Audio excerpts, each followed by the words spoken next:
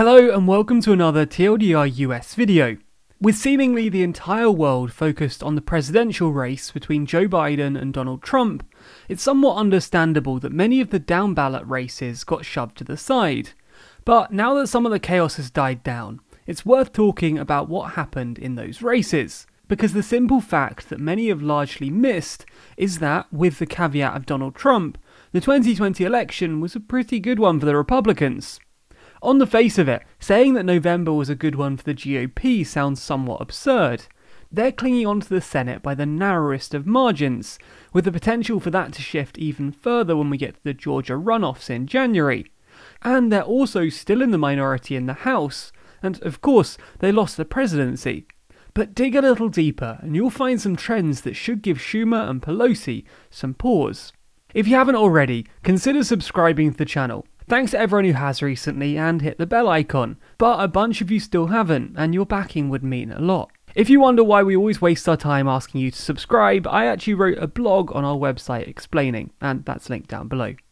Let's start with the House. Going into November, most pollsters, pundits, and politicians were feeling pretty bullish about the Democrats' odds in the House. Whether or not they'd maintain their victory wasn't the question. The question was how much they'd increase it by. In fact, in an interview with David Axelrod in August, Speaker Pelosi said that in the most pessimistic outcome, her party would still make double digit gains. To be fair, she also included the caveat that that was only the view from the moment and that it could change between August and November. But the thing is, by most measures, not a ton did change. The day before the election, the Cook Political Report came out with a piece basically saying the same thing. But right now, it's looking like the Democrats will be lucky if their losses don't reach the double digits. So, what happened? Well, it's hard to say. We'll probably have to wait a couple months for there to be a full examination of everything that went down on November 3rd, but we've got a few good indicators to work with already.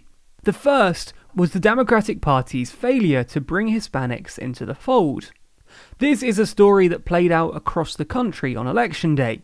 It's largely why Biden's margins in Texas and Florida were much worse than had been anticipated, and why Democrats, despite seemingly good odds, didn't flip a single seat in Texas, and even lost two somewhat safer seats in the Miami area. This failure will almost certainly be the biggest story in the election for Democratic higher ups to try and figure out what they need to change. There's also the candidate factor though. The Republican Party, with only a couple of QAnon exceptions, were really good at recruiting good candidates, specifically candidates that weren't old white men. The GOP's success was, with a few exceptions, led by women. While this might not be ideal for Democrats, who are hoping that Trump's, well, everything would send women fleeing from the Republican Party, is a pretty good sign for the general trajectory of gender dynamics in American politics, and shows that 2018, with its record number of women elected, was not just an anomaly. Government positions may still be dominated by men, but it's looking like that domination is in its waning years. And speaking of old white men, let's talk about the Senate. We should start by saying that every single sentence in the next few minutes should have an asterisk next to it. Georgia. As the results currently stand, Democrats have 48 seats and Republicans have 50.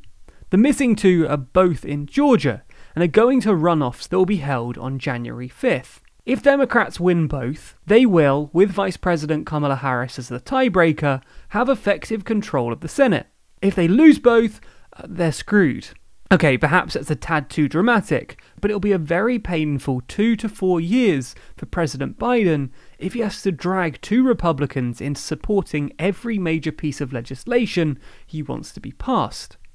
Anyway, Georgia aside, let's talk about what went down in that weird upper chamber on election night, starting off with the flips. Three seats have changed party one in Colorado, one in Arizona, and one in Alabama. The first two swung to the Democrats, with John Hickenlooper, 10 out of 10 name by the way, and Mark Kelly becoming the newest senators from Colorado and Arizona respectively, defeating incumbents Cory Gardner and Martha McSally.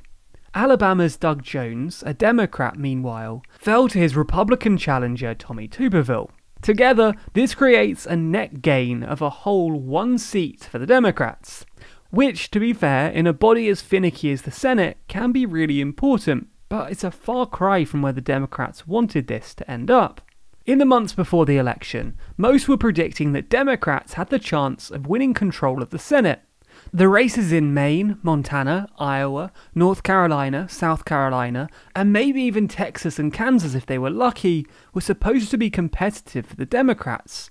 Most had even expected Maine and North Carolina to vote out their Republican incumbents. They weren't expected to win all of these states, but there were high hopes that they could pick up a fair few of them. But they didn't. Not a single one of those states swung to the Democrats. In some of them, it wasn't even close. In Maine, which again was largely expected to swing blue, Republican incumbent Susan Collins won by 8 points, with over 50% of the vote.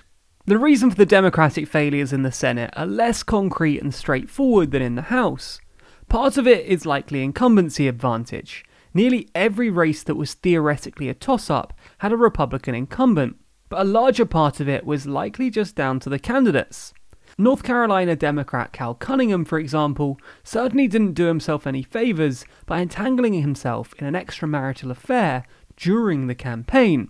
Sara Gideon of Maine, meanwhile, was fairly unproblematic, but faced the equally difficult issue that her opponent, longtime Senator Susan Collins, had tied herself so thoroughly to the culture of Maine that throwing her out just went against the basic instincts of so many Mainers. But whatever the reason, the result is the same. Democrats fell far short of where they wanted to be in the Senate. Will Georgia shake things up? Well, possibly, and we'll talk about that more in another video. But as things stand now, Senate Democratic leader Chuck Schumer is in a bit of an unpleasant situation. Of course, a Republican Senate doesn't necessarily mean that things won't get done. It's abundantly possible that Biden might be able to work with Republican moderates like Susan Collins, Lisa Murkowski, and maybe even Mitt Romney, but it's going to be a constant uphill climb. The final down ballot situation we should take a look at is state legislatures. These races may seem minor and irrelevant, but the implications of them are massive. Not just because state governments hold a lot more power than they're often portrayed as having, but also because, once again, it's redistricting time. Basically, every 10 years, states have to adjust the number of congressional districts and district lines in accordance with the decade's population shifts. This process, you may recall, is where we get gerrymandering. Because while in a few states the redistricting is done by an independent commission, in most, control is in the hands of the state legislature. So the party who controls that gets to decide what the map looks like for the next decade. In potential swing states like Texas and North Carolina, this could have massive effects on governance for the next decade to come. Needless to say, Democrats did not want Republicans to have control of this process. They poured massive amounts of money into states across the board, but the biggest prize was always Texas. With redistricting power in the second largest state in the Union, Democrats could have had the chance to make inroads, both locally and in Washington. But alas, their efforts fell short. Democrats didn't flip the legislature in Texas, they didn't flip North Carolina's, they didn't flip Florida's. The party's failure to capture seats in state capitals occurred pretty much everywhere. So basically, the next decade is going to see a lot of uphill battles for the Democrats. Now, it is true that capturing the presidency mattered a lot. Though the White House is not nearly as powerful as some might like to think, few in possession of their marbles would say that switching the executive from Donald Trump to Joe Biden won't change anything. And Democrats should celebrate that. But Republicans also have reasons for celebration too. The power they've held in the House, the Senate, and state legislatures will be incredibly influential in the coming years. It also signals that the party is not nearly as doomed as some might have predicted. The GOP is not going to collapse just because they've lost the White House. Their success in so many of these down ballot races proves that the party still holds wide appeal beyond Trump, it also indicates that life will not be easy for National Democrats in the coming years. Not just because Biden and Pelosi will have to struggle to get anything passed in the Senate, but also simply because this is not the trend you want to see when your party takes the presidency. Most new presidents have, at least in their first two years, control of Congress. This allows them to pass at least a couple of major pieces of legislation before their numbers inevitably decrease in the midterms, which are notoriously bad for the incumbent party. But with Biden's presidency already starting off on shaky footing, it's going to be a long four years for Democrats. But who knows? Maybe those 40 odd years in the Senate that people so often attacked will help Biden work with a growing GOP. What do you think though? Let us know your thoughts in the comments below. Be sure to subscribe to the channel and hit the bell icon to be notified when we release further videos in the future.